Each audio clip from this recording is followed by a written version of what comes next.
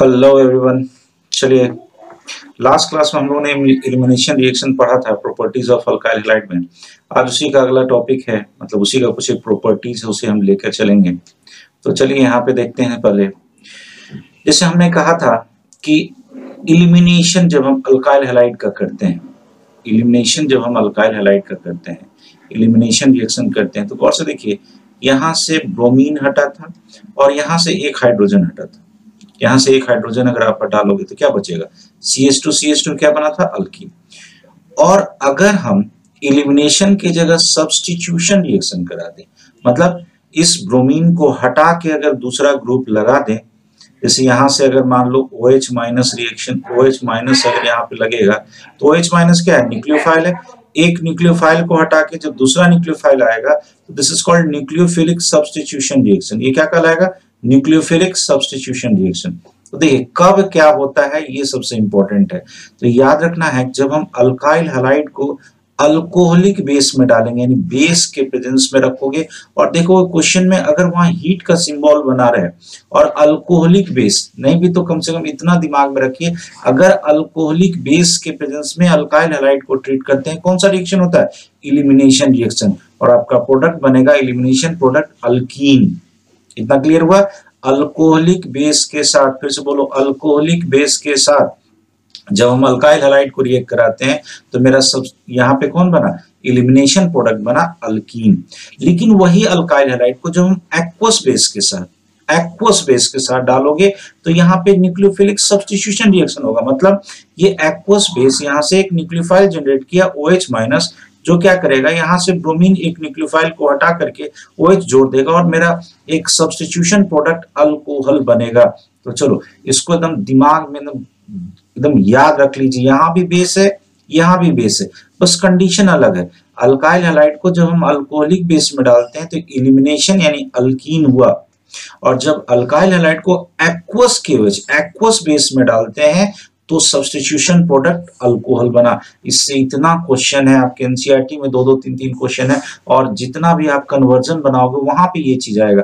तो चलिए हम लोग कन्वर्जन भी बनाएँगे जो कम से कम दो क्वेश्चन आपके एनसीईआरटी में वो कन्वर्जन भी आएगा और एक जो आपके एनसीईआरटी में है कि what happens what is the major product of this one वो हम लोग पहले देखेंगे। तो या, याद क्या रखना है? चलो फिर से बोलना एक बार। अल्कोहलिक बेस के साथ जब हम अल्काइल हैलाइड का रिएक्शन करते हैं तो इलिमिनेशन प्रोडक्ट अल्कीन बना। लेकिन वही अगर एक्वस बेस ले लें हम एक्वस बेस ले लें हम तो अल्काइल हैलाइड के साथ रिएक्शन पे वो न्यूक्लियोफिलिक सब्सटीट्यूशन रिएक्शन प्रोडक्ट देता है। क्या बनता है? अल्कोहल क्लियर है? चलिए, हम नेक्स्ट स्लाइड पे आते हैं जहाँ पे क्वेश्चन है। गौर से देखेंगे। ध्यान दीजिएगा। यहाँ देखिए, जैसे यहाँ पे क्या है? इथानॉल के प्रेजेंस में बेस है। तो इथानॉल के प्रेजेंस में यानी ये क्या हो गया? अल्कोहलिक केवच तो अल्कोहलिक केवच में हमने कहा था कि यहाँ से इलिमिनेशन प्रोडक्ट बनेगा। तो सबसे पहले इसको बनाओ। यहाँ पे है आपका C S three C C S three C S three और यहाँ पे भी है सी एस थ्री तो इसको हम ऐसे लिख देते हैं सी एस टू एच और यहाँ पे हम बी आर लगा देते हैं। हमने कहा, अभी अभी यहाँ पे क्या कहा था? अल्कोहलिक बेस के साथ इलिमिनेशन होगा। ये आपके एनसीईआरटी का क्वेश्चन है। एनसीईआरटी में आपको पूछा है कि मेजर प्रोडक्ट क्या होगा? तो इलिमिनेशन होगा। तो हम इसे कलर बदल लेते हैं। यहाँ देखिएगा। इलिमिनेशन रखना है तो यहाँ से बी आर निकाल दो और यहाँ से एच जैसे ही ये निकालेंगे तो अब गौर से देखना। यहाँ पे जो आपका प्रोडक्ट बनेगा, इसे मैं ऊपर में बना दू। ऊपर में बना दू। गौर से देखो। ये क्या हो जाएगा? सी एच थ्री सी यहाँ double bond C H two और यहाँ बन जाएगा आपका सी एच थ्री ऐसा रहेगा। ये क्या बन गया? अल्कीन कैसे बना? सब्सटीट्यूशन प्रोडक्ट हुआ। सब्सटीट्यूशन प्रोडक्ट कैसे हुआ? जब हम अल्कोहलिक बेस में अल्कोहलिक बेस में जब हम अल्काइल हेलाइड को रिएक्ट कराते हैं अल्कोहलिक बेस में जब हम अल्काइल हेलाइड को रिएक्ट कराते हैं तो मेरा सब्सटीट्यूशन प्रोडक्ट सब्सटीट्यूशन कहते हैं। यहाँ मेरा इलिमिनेशन प्रोडक्ट क्या बना? अल्कीन इतना दिमाग में रहना चाहिए। अब आइए। यहाँ देखो ये बेस है और यहाँ पानी लिया गया। पानी मतलब ये क्या हो गया? एक्वस वाला कंडीशन हमने एक्वस में क्या कहा था? इस ब्रोमीन को हटा के जो भी हेलोजन है उसको हटा के क्या आ जाएगा? ओ OH, इसके जगह एक न्यूक्लियोफाइल आएगा ओ एच माइनस चल इसका प्रोडक्ट बना देते हैं। तो C H three C H यहाँ ब्रोमीन की जगह कौन लग गया? ओ OH और यहाँ पे है मेरा C H two C H three कहने का मतलब यहाँ पे मेरा सब्सटीट्यूशन प्रोडक्ट क्या तैयार हो गया? अल्कोहल तो ये दो क्वेश्चन था, दो क्वेश्चन से बहुत बड़ा कंसेप्ट क्लियर होता है कि जब हम बेस को एक्वस कंडीशन में बेस को जब हम एक्वस कंडीशन में डालते हैं तो मेरा अल्कोहल बनता है और जब बेस को हम अल्कोहलिक कंडीशन में डालते हैं तो अल्कीन बनता है। ये क्लियर है सबको? इसमें कहीं किसी को कोई कंफ्यूजन नहीं होना चाहिए। किसी को भी कोई कंफ्यूजन नहीं होना चाहिए। चलिए नेक्स्ट स्लाइड पे आते हैं। अब है मेरा रिएक्शन विथ मेटल मेरा है रिएक्शन विथ मेटल कहता है अल्काइल हेलाइड को अल्काइल हेलाइड को कोई भी एक्टिव मेटल देखो मेटल ऐसा नहीं कि आप डी ब्लॉक वाला मेटल कोई एक्टिव मेटल लो, जैसे ग्रुप वन और टू जैसे ग्रुप टू मेटल है यहाँ मेरा मैग्नीशियम तो अल्काइल हेलाइड को जो मैग्नीशियम के साथ आप ट्रीट करेंगे in presence of dry ether in presence of dry ether तो आपका बनता है ग्रिग्नार्ड रिएजेंट क्या बनता है? ग्रिग्नार्ड अब ग्रिग्नार्ड रिएजेंट है क्या? तो एक तरह का ऑर्गेनोमेटलिक कंपाउंड है। फिर से देखना यहाँ पे हमने क्या कहा। हमने आपको कहा कि अल्काइल हेलाइड लिया था उसको मैग्नीशियम के साथ जब ड्राई इथर में रखे तो यहाँ पे आर एक्स था उसके बीच में कौन लग गया? आर एम जी एक्स गौर से देखो दिस एन एग्जांपल ऑफ़ ये जो आर एम जी एक्स है एक ग्रिग्नार्ड साइंटिस्ट का नाम है उन्होंने इसको डिस्कवर किया था उन्हीं के नाम पे रखा गया ग्रिग्नार्ड रिएजेंट ये एक तरह का ऑर्गेनोमेटलिक कंपाउंड है। ऑर्गेनोमेटलिक कंपाउंड कहते किसको तो यहाँ देखना आर है तो आर ये को, कोई भी कार्बन वाला ग्रुप होगा और यहाँ मैग्नीशियम है और यहाँ पे एक्स है।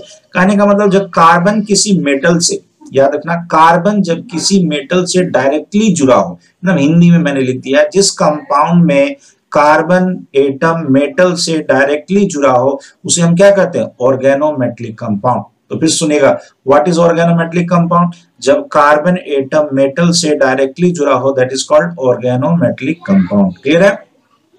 चलिए एग्जांपल देख लीजिए, जैसे यहाँ पे आर एक्स लगा हुआ है मतलब अल्काइल हेलाइड है। अल्काइल हेलाइड को जब हम मैग्नीशियम किसी भी एक्टिव मेटल के साथ ड्राई इथर में हम डाले, मेरा क्या बन गया? ग्रिगनाड रिएजेंट क्या बना ग्रिगनाड रिएजेंट ठीक है? अब इस ग्रिगनाड एजेंट के विषय में पढ़ेंगे कि ग्रिगनाड एजेंट का कौन सा एक्टिव पार्ट होता है और क्यों होता है। तो पहले फिर से इसको रिवीजन कर लीजिए। यहाँ देखिए अल्काइल हैलाइड को एक्टिव मेटल के साथ ड्राई ईथर में डाले। क्या बना Grignard agent this is example of organometallic compound किसको कहते हैं? जब कार्बन एटम डायरेक्टली कभी भी मेटल से जुड़ा हो this is known as organometallic compound और ये जो आर एम जी एक्स है this is called Grignard agent agent is an example of organometallic compound ठीक है? यहाँ पे उसी को मैंने दिखाया कि ग्रिग्नार्ड एजेंट कैसे बना है। क्लियर है? चलिए नेक्स्ट स्लाइड पे आते हैं। यहाँ देखेंगे। यहाँ देखिए, जैसे ये मेरा आर एम जी एक्स ये मेरा ग्रिग्नार्ड एजेंट इसे समझेंगे सब, ढंग से समझिएगा। ये जो मेरा ग्रिग्नार्ड एजेंट है, इस ग्रिग्नार्ड एजेंट को आप देखेंगे तो ये मेरा कार्बन है और ये मेरा मेटल है। तो ऑफकोर्स क्या होगा कि कार्बन की इलेक्ट्रोनेगेटिविटी इस मेटल से ज़्यादा होगी। यहाँ पे ये है कोवेलेंट बॉन्ड लेकिन हाईली पोलर है। क्यों पोलर है? पोलर कोवलेंट बॉन्ड में भी ये पोलरिटी यहाँ पे ज़्यादा होगी, इसलिए ज़्यादा होगी कि ये मेटल है, इसमें टेंडेंसी होगा इलेक्ट्रॉन देने का और इसमें टेंडेंसी होगा इलेक्ट्रॉन लेने का, लेकिन ये है कोवलेंट बॉन्ड तो जब ये लेगा तो यहाँ पे कैसा चार्ज हो गया? माइनस और ये दे रहा था तो कैसा हो गया? प्लस ऑफकोर्स इसके बीच जो यहाँ जो बॉन्ड होगा, ये ऑफकोर्स कैसा होगा? आयनिक ये आयनिक बॉन्ड होगा, जैसे NaCl में बॉन्ड रहता है तो Na plus C L minus इस तरह से हम लोग कहते हैं तो ये कौन सा बॉन्ड होता है? आयनिक उसी तरह से यहाँ पे आयनिक बॉन्ड होगा। क्लियर है? तो ये बॉन्ड पहले समझ लीजिए। तो बॉन्ड में क्या हुआ? ये वाला कोवेलेंट बॉन्ड था। और कोवेलेंट बॉन्ड होने के कारण यहाँ पे इलेक्ट्रोनेगेटिविटी की बहुत ज़्यादा डिफरेंस है, क्योंकि ये मेटल है और ये नॉन मेटल है। तो नॉन मेटल होने के कारण ये इलेक्ट्रॉन को खींचेगा क्योंकि इसकी इलेक्ट्रोनेगेटिविटी ज़्यादा है। तो जैसे ही खींचेगा तो आपको यहाँ पे कैसा चार्ज आएगा? माइनस यहाँ कैसा चार्ज होगा? प्लस और ये वाला बॉन्ड देखिए, जब एनसीआरटी लिखा है और मेंशन किया तो कहाँ क्या पूछेगा बेटा? कहना बड़ा मुश्किल है। तो ये जो बॉन्ड होगा, ये मेरा कैसा होगा? आयनिक बॉन्ड तो कहता है Grignard agent are highly reactive ये बहुत रिएक्टिव होता है and reacts with any source of proton कोई भी सोर्स जो होगा प्रोटोन का, जैसे एसिड है, पानी है अल्कोहल है अमाइंस है, उससे वो रिएक्ट करके क्या बना देता है? हाइड्रोकार्बन क्या बना देता है? हाइड्रोकार्बन फिर से देखिए, हमने क्या कहा? ये ग्रिग्नार्ड एजेंट बहुत ही रिएक्टिव एक रिएक्टिव कहो रिएज कह लो कोई भी सोर्स है और इतना ज़्यादा रिएक्टिव होता है कि ये किसी भी, कोई भी प्रोटोन सोर्स प्रोटोन सोर्स का मतलब H प्लस देने वाला। तो H प्लस देने वाला क्या होता है? एसिडिक यानी कहीं भी अगर एसिडिक हाइड्रोजन आपको एसिडिक हाइड्रोजन डोनर कोई भी स्पीसीज मिला तो वो क्या करेगा? उससे रिएक्ट करके क्या बना लेता है? हाइड्रोकार्बन जैसे एसिडिक हाइड्रोजन देने वाला प्लस पानी से मिल सकता है अल्कोहल से मिल सकता है अमाइन से मिल सकता है, आपको जैसे टर्मिनल अल्काइन से मिल सकता है। तो कहता है, यहाँ से जैसे पानी में तुम डालोगे तो H प्लस इस पानी से मिला, यहाँ ये कंबाइन कर लेगा इसके साथ, इस आर के साथ। क्या बन गया मेरा? अल्केन और ये एसिड बेस रिएक्शन हुआ कुछ लोग कहते हैं कि सर, यहाँ न्यूक्लियोफिलिक सब्सटीट्यूशन क्यों नहीं हुआ? इसलिए नहीं होगा कि ये न्यूक्लियोफाइल की तरह जब तक सोचता सोचता ये एसिड की तरह बिहेव करने लगा और ये बेस की तरह बिहेव करने लगा।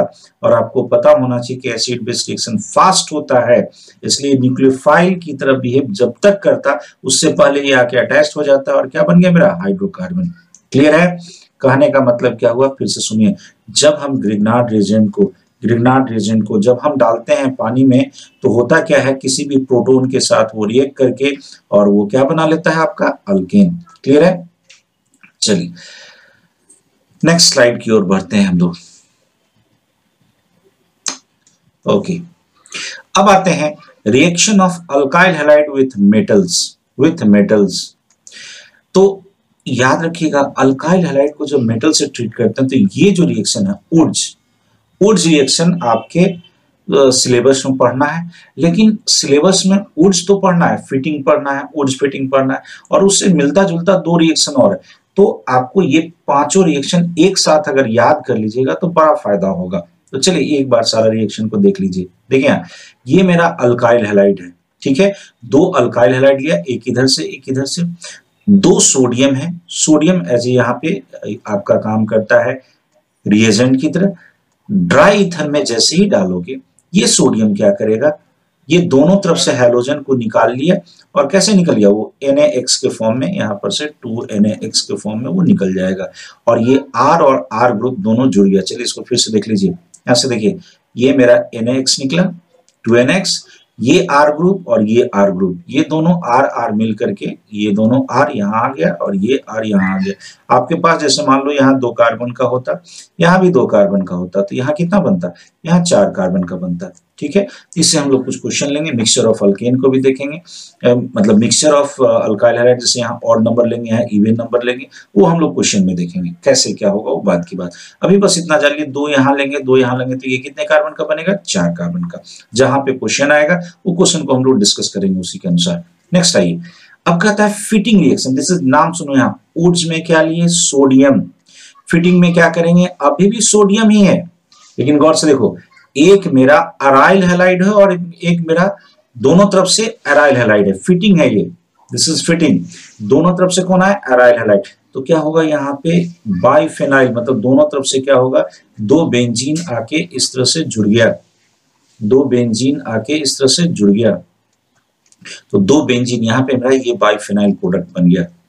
कहने का मतलब समझो, यहाँ पे अल्केन बना था और यहाँ पे बना बाइफेनाइल क्या हुआ था? फिर से सुनो।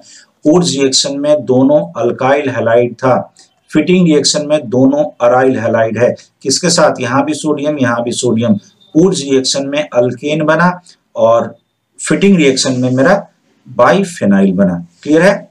चलिए नेक्स्ट स्लाइड पे जाते हैं। यहाँ देखिएगा।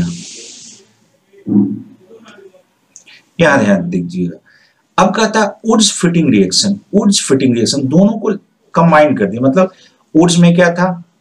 सोडियम और अल्काइल हेलाइट फिटिंग में क्या था? सोडियम और अराइल हेलाइट यहाँ क्या करना है?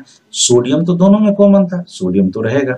अब यहाँ पे एक अल्काइल हेलाइट और एक अराइल हेलाइट मतलब यहाँ पे क्या बनेगा? इस तरह से बेंजीन में कोई भी मेरा अल्काइल ग्रुप लगा रहेगा। यानी अल्काइल बेंजीन मेरा फाइनल प्रोडक्ट होगा। किसमें? ऊर्ज फिटिंग में। फिर से बोलो, ऊर्ज में क्या था? सोडियम और अल्काइल हेलाइड फिटिंग में क्या था? सोडियम और अराइल हेलाइड। और ऊर्ज फिटिंग में क्या हुआ? एक अल्काइल हेलाइड और एक अराइल हेलाइड जब सोडियम के साथ रिएक्ट करता है तो मेरा बनता है क्या? Alkyl benzene. क्या बना मेरा? Alkyl benzene. ये मेरा बना अल्काइल बेंजीन। क्लियर है ये चीज़? चलिए, अब आइए। फ्रैंकलैंड एक लेते हैं फ्रैंकलैंड और एक है मेरा अलमैन चलिए, इसको हम लोग दो बार रिविजन करेंगे। फ्रैंकलैंड में क्या है? दोनों तरफ़ से अल्काइल हेलाइट और सोडियम के जगह कौन आ गया? जिंक। मतलब ये किसके जैसा मिलता हुआ है? ऊर्ज रिएक्शन के जैसा ही मिलता जुलता है। बस करना क्या है आपको? फ्रैंकलैंड में क्या लेना था? सोडियम के जगह जिंक और दोनों अल्काइल हेलाइड होगा। तो ये मेरा रिएक्शन कौन होगा? फ्रैंकलैंड। सारा मैकेनिज्म जैसा ऊर्ज में होता है, वैसा ये फॉलो करता है। तो ये कौन है मेरा? फ्रैंकलैंड रिएक्शन नेक्स्ट है अल्मैन रिएक्शन अल्मैन रिएक्शन की बात करोगे तो अल्मैन रिएक्शन में देखो होता क्या है। अल्मैन रिएक्शन में, अब दोनों तरफ़ से अराइल हेलाइड है। ये भी मेरा अराइल है, ये भी मेरा अराइल है।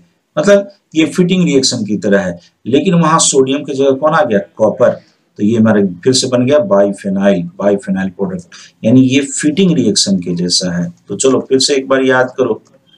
फिर से एक बार याद करो। हमने क्या क्या कहा? चलो। देखेंगे सब लोग। चलिए, यहाँ आइएगा।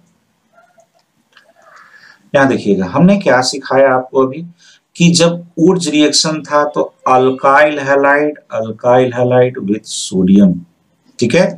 फिटिंग रिएक्शन था तो aryl halide aryl halide with sodium clear है? लेकिन जब हम ऊर्ज फिटिंग की बात करेंगे तो ऊर्ज में था, चलो याद करो, ऊर्ज में था alkyl halide with sodium Fittig में था अराइल हैलाइड विथ सोडियम तो ऊर्ज फिटिंग में क्या हो गया? एक अल्काइल हैलाइड और एक अराइल हैलाइड विद सोडियम। शायद याद हो गया। चलो, अब बोलो ऊर्ज रिएक्शन। ऊर्ज रिएक्शन में क्या था? अल्काइल हैलाइड दोनों तरफ़ से और सोडियम। यहाँ पे क्या है? अल्काइल हैलाइड तो है, लेकिन सोडियम की जगह कौन आ गया? जिंक। तो याद रखिएगा फ्रैंकलैंड में कौन आ जाता है? ऊर्ज में जो सोडियम था, बस उसके जगह क्या करना है? जिंक ले आना है। दोनों तरफ़ से अल्काइल हैलाइड और जिंक। चलो, फिटिंग रिएक्शन में क्या था?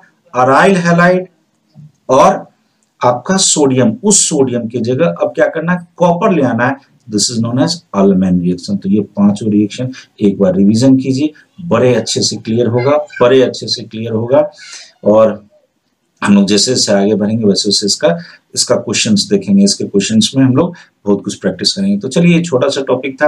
आ, हम लोग इसको यहीं पे खत्म करते हैं और इसमें जो अभी हम मैम हमारे पास जो रिएक्शन बचा हुआ है हेलो एरिन्स का तो नेक्स्ट क्लास में हम लोग वो करेंगे। चलिए मोस्ट प्रोबेबिलिटी है कि जस्ट यू क्लास हम आपको अपडेट करेंगे। ओके चलिए।